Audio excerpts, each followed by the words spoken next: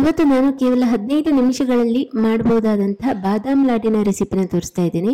ತುಂಬ ಸುಲಭದ ರೆಸಿಪಿ ಲಾಡು ತುಂಬ ರುಚಿಯಾಗಿರ್ತದೆ, ಮತ್ತು ಒಂಥರ ಎನರ್ಜಿ ಲಾಡು ಥರ ಇರ್ತದೆ ಇದು. ಬನ್ನಿ ಹೇಗೆ ಮಾಡೋದಂತ ನೋಡೋಣ.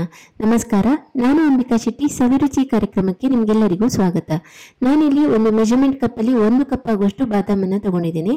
ಯಾವುದೇ ಕಪ್ ಮೆಜರ್ಮೆಂಟ್ ಆದರೂ ತಗೊಳ್ಬೋದು ನೀವು. ಎಲ್ಲ ಇಂಗ್ರೀಡಿಯೆಂಟ್ಸಿಗೂ ಒಂದೇ ಕಪ್ಪನ್ನು ಉಪಯೋಗಿಸಿ. ಬಾದಾಮನ್ನು ಎಣ್ಣೆ ತುಪ್ಪ ಏನು ಹಾಕದೆ ಡ್ರೈ ರೋಸ್ಟ್ ಮಾಡ್ಕೊಳ್ಬೇಕು. ಮಧ್ಯಮ ಉರಿಯಲ್ಲಿ ಐದು ನಿಮಿಷ, ಕನಿಷ್ಠ ಐದು ನಿಮಿಷ ಇದನ್ನ ಡ್ರೈ ರೋಸ್ಟ್ ಮಾಡ್ಕೊಳ್ಬೇಕು. ಐದರಿಂದ ಆರು ನಿಮಿಷದವರೆಗೆ ಚೆನ್ನಾಗಿ ಹೀಗೆ ಕ್ರಿಸ್ಪಿ ಆಗೋ ತನಕ ಹುರಿದು ತೆಗೆದಿಟ್ಕೊಳ್ಬೇಕು. ನಂತರ ಅದೇ ಬಾಣಲಿಗೆ ಅರ್ಧ ಕಪ್ ಆಗುವಷ್ಟು ಹಸಿ ತೆಂಗಿನ ತುರಿನ ಹಾಕಿದ್ದೀನಿ ಇಲ್ಲಿ. ಒಂದು ಎರಡರಿಂದ ಮೂರು ನಿಮಿಷ ಇದನ್ನು ಕೂಡ ಡ್ರೈ ರೋಸ್ಟ್ ಮಾಡ್ಕೊಳ್ಬೇಕು. ಅಂದರೆ ಎಣ್ಣೆ ತುಪ್ಪ ಏನು ಹಾಕದೇನೆ ಚೆನ್ನಾಗಿ ಹುರ್ಕೊಳ್ಬೇಕು. ನೀವು ಒಣ ಕೊಬ್ಬರಿ ತುರಿ ಕೂಡ ಹಾಕ್ಕೊಳ್ಬೋದು ಆದರೆ ಹಸಿ ತೆಂಗಿನ ತುರಿನ ಹಾಕಿ ಹುರಿದು ಉಪಯೋಗಿಸಿದರೆ ರುಚಿ ಜಾಸ್ತಿ. ಈಗ ಮಿಕ್ಸಿ ಜಾರಿಗೆ ಹುರಿದಿರೋ ಬಾದಾಮ್ ತಂದಿದೆ, ಅದನ್ನು ಹಾಕಿದ್ದೇನೆ. ಬಾದಾಮ್ ಸಿಪ್ಪೆ ತೆಗೆಯೋ ಅವಶ್ಯಕತೆ ಇಲ್ಲ, ಅದನ್ನು ಹಾಗೆಯೇ ನುಣ್ಣಗೆ ಪುಡಿ ಮಾಡ್ಕೊಳ್ಬೇಕು ಈ ರೀತಿಯಾಗಿ. ಈಗ ಇದನ್ನು ಒಂದು ಪಾತ್ರೆಗೆ ಹಾಕ್ಕೊಂಡಿದ್ದೇನೆ ಹಾಗೆಯೇ ಹುರಿದ ತೆಂಗಿನ ತುರಿನೂ ಅದಕ್ಕೆ ಹಾಕಿದ್ದೇನೆ.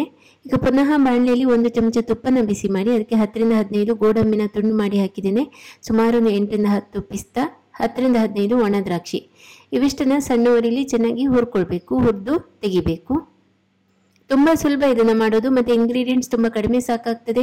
ಮಕ್ಕಳಿಂದ ಹಿಡಿದು ದೊಡ್ಡವ್ರ ತನಕ ಎಲ್ಲರಿಗೂ ಕೊಡ್ಬೋದು, ಯಾಕಂದರೆ ಇದರಲ್ಲಿ ಯಾವುದೇ ಜಂಕ್ ಐಟಮ್ ಇಲ್ಲ.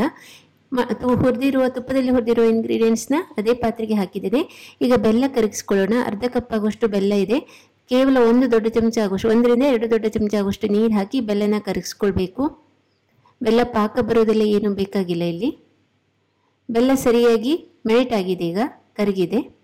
ಇದನ್ನು ನಾನು ಗಾಳಿಸ್ಕೊಂಡು ಆ ಮಿಶ್ರಣಕ್ಕೆ, ಪಾತ್ರೆಯಲ್ಲಿರುವ ಬಾದಾಮ್ ಪುಡಿ ಮಿಶ್ರಣಕ್ಕೆ ಹಾಕ್ಕೊಳ್ತಾ ಇದ್ದೇನೆ. ಕಸ ಏನಾದರೂ ಇದ್ದರೆ ಹೋಗಲಿ ಅಂಥೇಳಿ. ಈಗ ಇದನ್ನು ಚೆನ್ನಾಗಿ ಕಲಿಸ್ಕೊಳ್ಬೇಕು. ಮತ್ತು ಇದನ್ನು ಕಲಿಸ್ಕೊಳ್ಳುವಾಗ ನೀರೆಲ್ಲ ಹಾಕ್ಕೊಳ್ಬಾರ್ದು ಆಗ ಲಾಡ್ ಲಾಡನ್ನು ನೀವು ತುಂಬ ಟೈಮ್ ಇಡಲಿಕ್ಕೆ ಆಗೋದಿಲ್ಲ.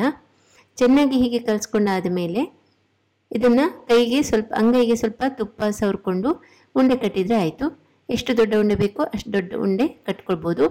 ರುಚಿಯಾಗಿ ಇರ್ತದೆ, ಸುಲಭವಾಗಿ ಮಾಡ್ಕೊಳ್ಬೋದು. ಮಕ್ಕಳು ಕೂಡ ಈಗಷ್ಟೇ ಅಡುಗೆ ಕಲಿತಾ ಇರೋರಿಗೆಲ್ಲ ಕಲಿಸ್ಲಿಕ್ಕೆ ಒಂದು ಒಳ್ಳೆಯ ಐಟಮ್ ಕೂಡ ಇದು.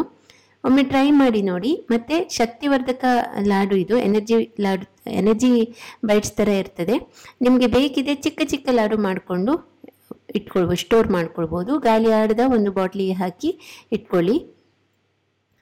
ಒಂದು ವಾರದವರೆಗೂ ಇಡ್ಬೋದು ಒಂದು ವಾರ ತನಕ ಬರೋದಿಲ್ಲ ನಾವು ಬೇಗ ತಿಂದು ಖಾಲಿ ಮಾಡ್ತೇವೆ, ರುಚಿಯಾಗಿ ಇರ್ತದೆ. ಖಂಡಿತ ಒಮ್ಮೆ ಟ್ರೈ ಮಾಡಿ ನೋಡಿ. ಇವತ್ತಿನ ಈ ರೆಸಿಪಿ ಬಾದಾಮ್ ಲಾಡು ನಿಮಗೆಲ್ಲ ಇಷ್ಟ ಆಗಿದೆ ಅಂತ ಭಾವಿಸ್ತೇನೆ. ಇನ್ನೊಂದು ರೆಸಿಪಿ ಜೊತೆ ನಾನು ಮತ್ತೆ ಬರ್ತೇನೆ. ಧನ್ಯವಾದಗಳು.